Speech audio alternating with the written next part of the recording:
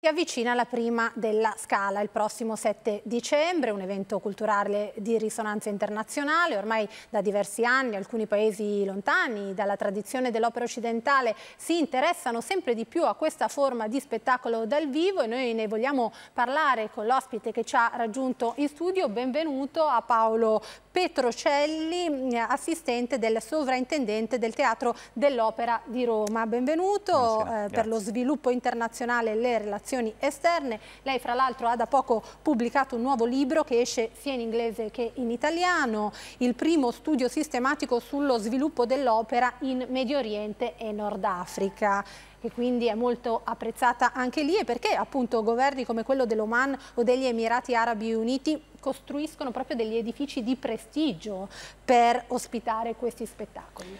L'opera rimane ancora oggi sicuramente una delle forme d'arte e di spettacolo più apprezzate al mondo. Eh, negli ultimi 15 anni eh, sono stati costruiti circa 10 nuovi teatri d'opera nel Medio Oriente e nel Nord Africa e altrettanti sono stati restaurati e ammodernati. In questo senso quindi i governi eh, dei paesi del Nord Africa e del eh, Medio Oriente stanziano somme ingenti, decine e decine di milioni di euro per un nuovo eh, sviluppo culturale.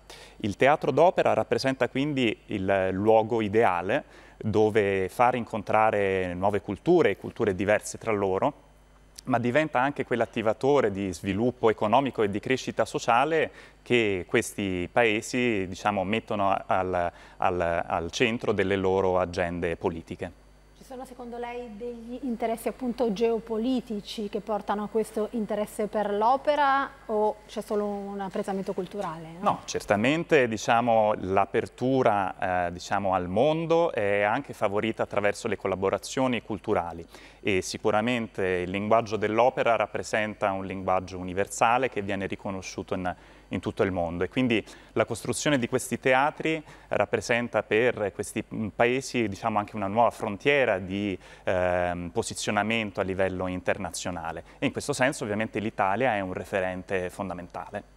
Appunto, che volano possono essere per il nostro paese? Beh, ovviamente diciamo, la cultura dell'opera nasce in Italia e ancora oggi con le nostre tantissime fondazioni lirico-sinfoniche eh, rappresentiamo un punto di riferimento di eccellenza a livello internazionale. I nostri teatri, le nostre grandi orchestre, i nostri corpi di ballo si esibiscono all'estero e sempre di più anche in questi paesi Medio Oriente. Mi piace ricordare la bellissima tournée che il Teatro dell'Opera di Roma ha fatto proprio alla Opera eh, Royal Opera House Muscat in Oman, portando in scena eh, una produzione bellissima di Franco Zeffirelli Pagliacci. E quindi noi siamo dei veri e propri, lo sappiamo, ambasciatori della cultura eh, e i teatri in questo senso sono, i nostri teatri sono i protagonisti dell'eccellenza della cultura italiana nel mondo.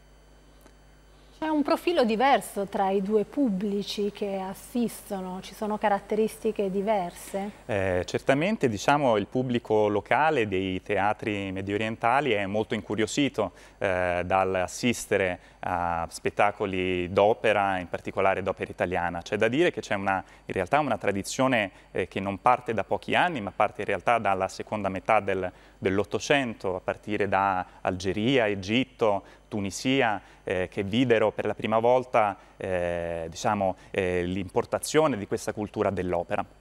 Oggi c'è una nuova ondata e in questo senso si sta cercando di capire anche come il linguaggio dell'opera possa essere adottato eh, dalle culture locali per diventare a sua volta veicolo di tradizione, repertorio, heritage eh, del mondo arabo. E in questo senso è interessante anche vedere alcuni esperimenti come quello dell'Opera del Libano, una nuova compagnia d'opera che sta realizzando delle opere in lingua araba, quindi delle opere che raccontano di storie della tradizione araba nella lingua araba. E questa è una novità. Questa è una novità e devo dire è molto bello anche vedere la collaborazione che c'è tra i teatri, in particolare italiani, e le compagnie professionali locali, nel cercare di trasferire il nostro know-how, la nostra expertise, ma anche, perché no, di imparare noi a scoprire la cultura del mondo arabo mm. attraverso l'opera. Dunque, queste sono delle declinazioni, sì. ma cosa fa dell'opera uno spettacolo universale? Quali caratteristiche? Beh, certamente diciamo le storie, delle storie che racconta il teatro d'opera sono storie universali, storie d'amore, storie di pace, di guerra, eh, delle grandi diciamo, sentimenti e emozioni dell'uomo. Eh, noi ovviamente ne siamo in qualche modo gli eredi di questo straordinario patrimonio, eh, i nostri artisti, le nostre orchestre, i nostri corpi di ballo trasmettono al nuovo pubblico queste storie in musica che non hanno davvero tempo. È bello eh, appunto sapere che eh, l'Italia che spesso diciamo, fa fatica a rinnovarsi e trovare anche una proiezione nel futuro per tutto questo straordinario patrimonio stia in realtà trovando le capacità, gli strumenti anche diciamo manageriali per ripensare in parte i modelli dell'opera. Ed è anche bello sapere che molti manager italiani sono a capo di alcune istituzioni e teatri d'opera